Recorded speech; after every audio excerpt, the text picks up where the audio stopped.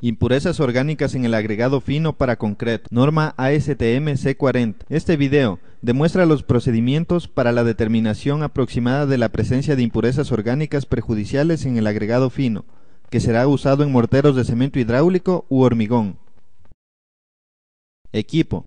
Solución de color patrón. Mezcla de dicromato de potasio en ácido sulfúrico concentrado, a una proporción de 0.25 gramos por cada 100 mililitros de ácido.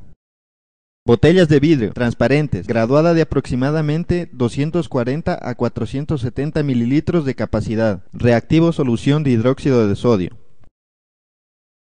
Balanza, con una precisión del 0.1% de la carga de ensayo. Muestra de ensayo.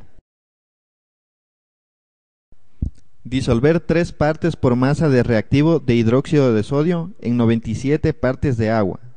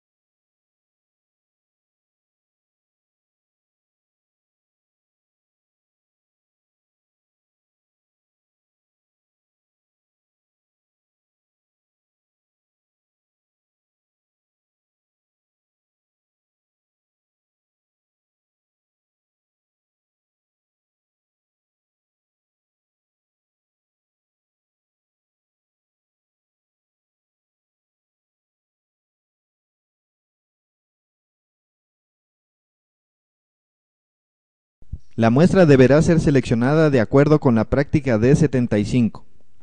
La muestra, luego de ser reducida de acuerdo con la práctica C702, deberá tener una masa de aproximadamente 450 gramos.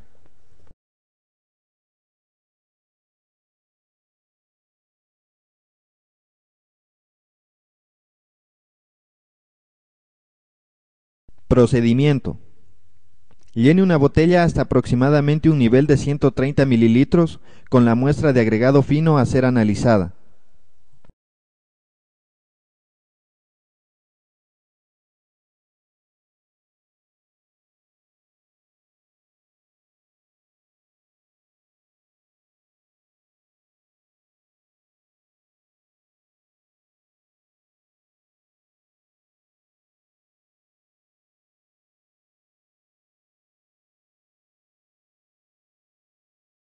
Añada la solución de hidróxido de sodio hasta que el volumen del agregado y el líquido indicado después de la agitación sea aproximadamente de 200 mililitros.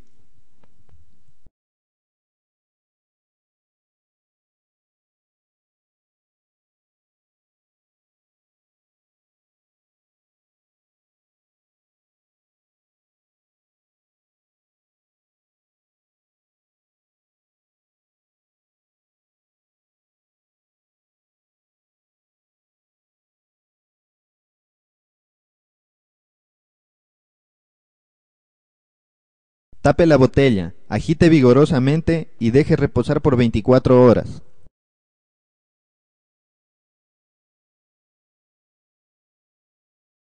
Sostenga la probeta con la muestra de ensayo y la probeta con la solución de color patrón una al lado de la otra y compare el color de luz transmitido a través del líquido flotante encima de la muestra con el color de luz transmitido a través de la solución de color patrón.